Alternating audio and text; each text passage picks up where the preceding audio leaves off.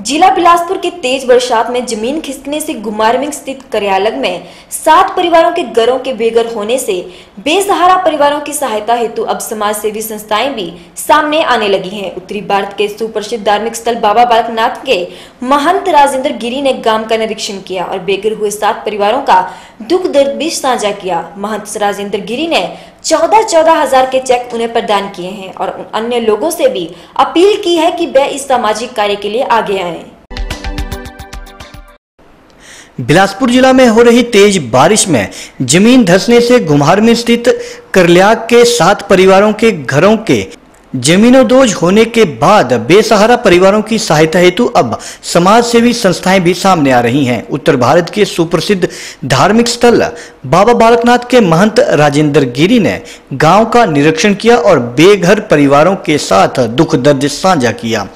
सात बेघर परिवारों ने अपनी अपनी आप बीती, उन्हें सुनाई और महंत राजेंद्र गिरी ने चौदह चौदह हज़ार के चेक उन्हें प्रदान किए और अन्य लोगों से भी अपील की कि वे इस सामाजिक कार्य के लिए आगे आएँ और इन लोगों की सहायता करें ताकि लोगों के आशियाने दोबारा बसाए जा सकें। घटना जैसे लोगों से पता लगा, ऐसे ऐसे बातचीत मीडिया में तो दो दिन बाद बात आई है। तो तब पता चला कि ऐसी घटना हुई है, प्राकृतिक आपदा है। उसमें फिर हमने सोचा कि वहाँ जाकर मिलकर सबका सहयोग ले जाए। तो हम लोग सभी जो है सामाजिक जो तौर पर हैं, इंसान हैं, हमारे समाज के प्रति भी अपना उत्तरदायित्व होना चाहिए कि कुछ ना कुछ जहाँ भी किसी के साथ सहयोग कर सकते हैं।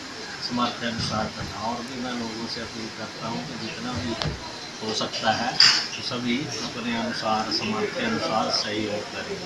क्योंकि ये कब हमने, हमारे बुज़ुर्गों ने प्राचीन समय से मेरे अपना एक घर बनाया तो जब हमारा आसियाना उजड़ जाता है तो एक तो आदमी बेघर हो जाता है, उसके पश्चात जो है फिर विभिन्न तरह की परेशानियाँ, परिवार का पालन पोषण और कई तरह की समस्या होती हैं। नए सिरे से कर्म साने के लिए तो सबको अपील है कि थोड़ा थोड़ा सेवा सब भी करें और हमारी तरफ़ से सभी साथ जितने भी पीड़ित परिवार हैं हमारी संवेदनाएँ जो हैं उनके साथ हैं। बाबा बालकनाथ जी महाराज जी के दरबार में सभी बैठे हैं। तो बाबा बालकनाथ जी आगे भविष्य बहुत अच्छा करेंगे। सबका बहुत अच्छा रहेगा हमारी शुभकामनाएँ रहेगी आशीर्वाद रहेगा बाबा जी के आशीर्वाद कि सभी अच्छे से घर बस जाएँ और करें